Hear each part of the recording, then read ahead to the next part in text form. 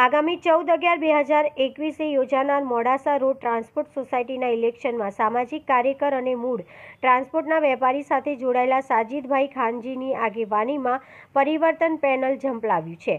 યુવા ગ્રુપના સેવાકીય કાર્યો તેમજ સમાજની અન્ય શૈક્ષણિક સંસ્થાઓમાં પણ સક્રિય એવા સાજીદ ખાનની પેનલના કાર્ય કાર્યાલયનું ઉદ્ઘાટન આજરોજ મગદુમ ચાર રસ્તા સિગ્નેચર એવન્યુ ખાતે થયું. કાર્યાલયનું ઉદ્ઘાટન વડીલ બાબાભાઈ ઇપ્રોલિયાના હસ્તે કરવામાં આવ્યું, જેમાં મોટી સંખ્યામાં લોકો ઉમટી પડ્યા હતા. લોકોનો ઉત્સાહ અને સમર્થન જોઈ ઉમેદવારોમાં ઉત્સાહની લાગણી છવાઈ ગઈ હતી. જે આવનારું ઇલેક્શન આવે છે, એમાં મારી પરિવર્તન પેનલને લઈને ઉમેદવારી નોંધાવવાનો છું. મારી ઉમેદવારી નોંધવાનું કારણ એ જ છે કે એ અહેવાલ હું કર્યો હતો, મારા જોડે અહેવાલ આવ્યો.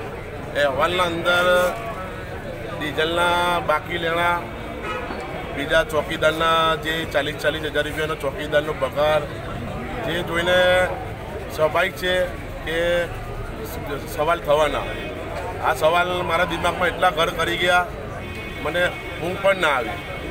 જે અમારા વડીલોએ સંસ્થાનો સ્થાપના કરી હતી, એમનો જે ઉદ્દેશ હતો એ આ સત્તા પક્ષવાળાને બિલકુલ ગેરફાયદો ઉઠાવ્યો છે. બિલકુલ સંસ્થાને ખલાસ કરવા પર લાવી દીધી છે. અને આ વહીવટકારોએ બિલકુલ સમાજનું કે સભાસદોનું કે થાપણદારોનું કોઈ પણ પ્રકારનું હિત જોયું નથી. એટલા માટે હું મન બનાવ્યું અને સમાજના લોકોના સપોર્ટથી અને બીજા અમારા દસ જણના ટેકાથી અમે અત્યારની પરિવર્તનની પેનલ બનાવી છે.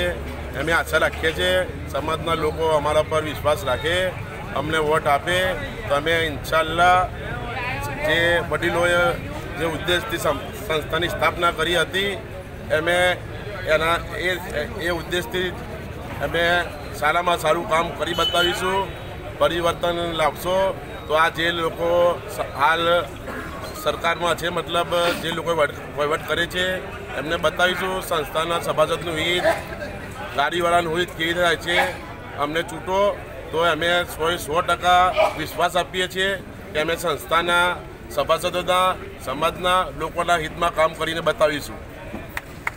અમારી એની ન્યૂઝ ચેનલને લાઈક, શેર અને સબસ્ક્રાઇબ કરો. બેલ આઇકન દબાવવાનું ના ભૂલતા.